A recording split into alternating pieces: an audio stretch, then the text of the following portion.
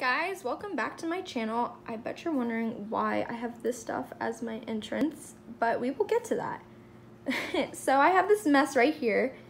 I am working on resculpting this beautiful Papo, Papo, Papo, Papo I think it is, model.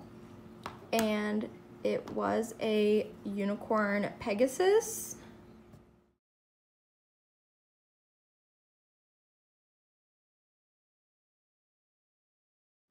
And that picture is what he used to, she or he, it's not really defined, but that's what this horse used to look like. And right now I am sculpting. I took off the wings and the neck. Um, I had started this last night and that's what this mess is. And always, please, please, please do not try this at home and be very careful. I do not have a Dremel kit and I am using this X-Acto knife. It's not really an X-Acto knife. It's a knife. It's a really cute one, but you know. Um, always, always cut away from you if you're going to attempt this project. I'm going to show you what happened to me when you do not do that. I cut my hand and it wouldn't stop bleeding. I actually ended up cutting into the muscle, kind of. I saw purple inside my hand. I didn't freak out, but I was very, very white. Um, I did not get stitches. It's about an inch long.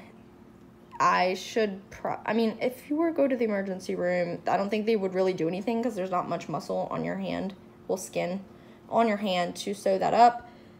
Like this one, if you can see, that is my middle finger. I had gotten cut by my dog's cable.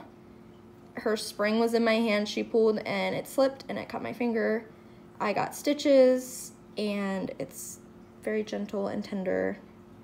So I didn't get stitches for this one, but I didn't go to the emergency room. I toughed it out. So if you do end up getting a cut like this, please go to the emergency room if it's very bad and you can't control the bleeding. Yeah. So just please, please, please be very, very careful. Don't pull a me, which is what I did. So this is why I stopped and this is why I am doing this away from me and I grabbed this to sand it down instead of using this all the time. So let's get started.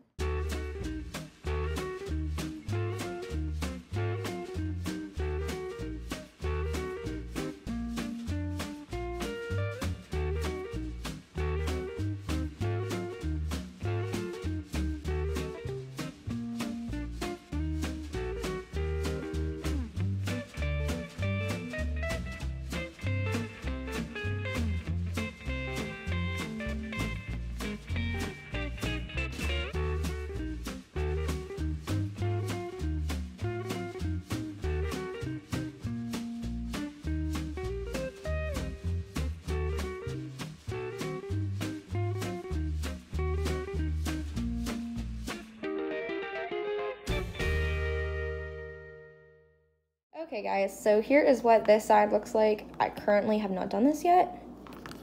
I had done the bottom strap, there was a strap here, yesterday. That's when I cut my hand. But I will be thinning that with the drill. Um, there is some rough patches here that I will be thinning out. Here is what it looks like on the side that I have done in the time lapse. So it's really exciting so happy how this is turning out. This is turning out amazing. Um, the saddle will be coming off. Trust me, it will be coming off. I'm going to try and do this tail. I would really, really like to make this tail so it's not out like that. Maybe if we can push it down, that'd be great, but I think I may end up leaving it. But I'm not gonna bore you with another time lapse. So I'm just going to get this cut off and then I will show you the final when it's done. So this might take me a while. So, you know. But we're having fun with this. Um, so far this is the the scrap pile. Look at that lovely scrap pile. Um, the floor. You should see my floor right now. Let me move this. Got it on the stool. this is the floor.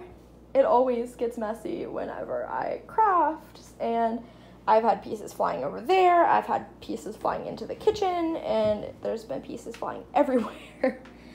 but we're having fun, you know. And I think my candle is burning out, but he'll be okay. So here we go. Let's get started again on the next side. Okay, now that he's all sculpted out, make sure you want to sand it down first to get all of the little flakies. I had started to paint it, that's why it's kind of scraped like that, scraped white. And I realized there's flakies, what am I gonna just do? So I just wiped it off, sanded it down. I need to get new sandpaper, but. And now I'm going to paint him. I'm using this Craft Smart satin acrylic paint and this is permanent. Well, it can be washed off your hands, um, but I do that, do a base coat of white, paint him some natural colors, which I will be picking out after I Google some images of what I want him to look like.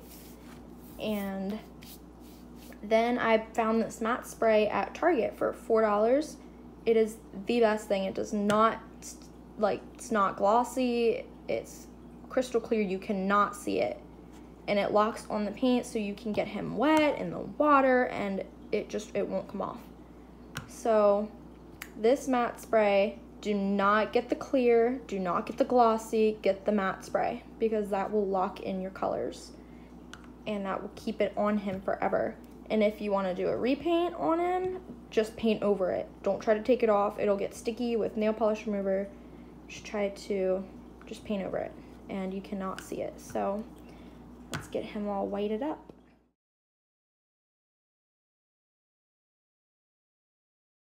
Now I am painting this model to my preferred colors. I am using a satin acrylic paint golden brown with a brown acrylic paint and white and black.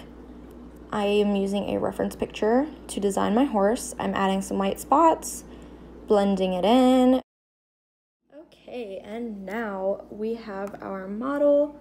I had to cut off the video at that point because Had to let the paint dry.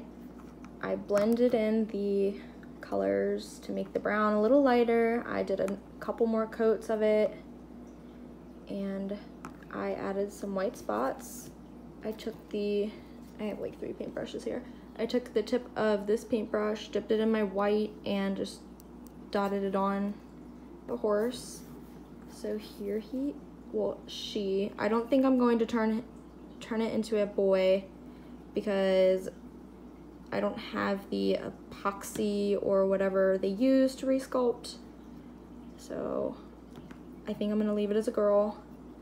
So she is a patched Appaloosa. She's got her brown tail. I am working on the eyes. I took the dark brown and just did a very, very light coat over the, the hooves to make it look natural and I will be painting the bottom here. And here she is. So this is what she looks like. And our reference picture was oh was this horse but I wanted to do it a little different. So here she is I didn't want to copy the exact design, but I did try a little bit. But here we go. I'm going to be keeping this model because this was my first ever resculpting and custom. So that's awesome. Um, I will be painting my other models that I had got with her and they will be up on my, stay, she'll they will be up on my eBay so I will pull that up on my iPad so you can see where to go. So let me paint this and I will show you that eBay. So if you all are wondering about my eBay this is my profile.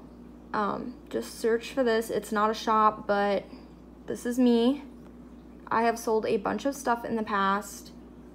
I do buy things from eBay I also have these handmade Schleich accessories for sale. There have been like 780 views on this one and like 300 something on this one and there are a couple watchers but nobody has bought them yet and I am very very hoping that soon somebody will buy them so they can get out of my closet. I have them boxed up. This jumping set has been handmade. It is $5. Um, these little sticks, they're Cavaletti jumps. They do come off of their stands.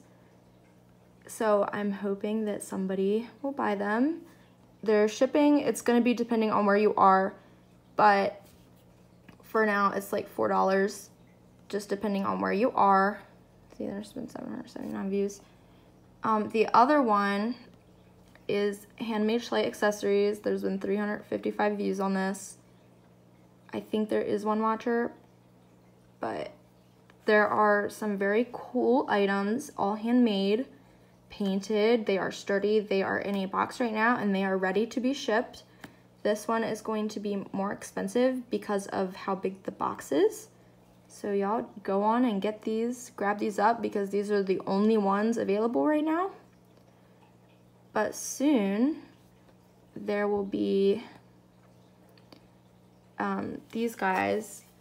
I'm not sure if anybody would buy them as they are not Schleich. They are not branded, so they may be very hard to sell, but I'm going to try to repaint these guys.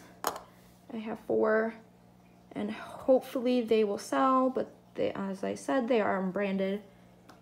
And so that is a little tour of my shop. And so please go and just check it out. And the final is this guy. Well, girl. The final is this girl. Here she is. She will not be on my shop as she is my first sculpting um, model I've ever done. So she will be special, very, very special on my shelf. But there will be soon to come, like I said, these guys. So just check me out. I'm on eBay. You can message me. Um, tell me, ask me if I think you can send offers. And if not, just private message me and I will allow the offers as I have done before. So just guys go on and grab these up. And thank you so much for supporting me and my channel. It means the world to me. Like, it's amazing. Thank you guys for watching and just enjoy the rest of your day. Bye.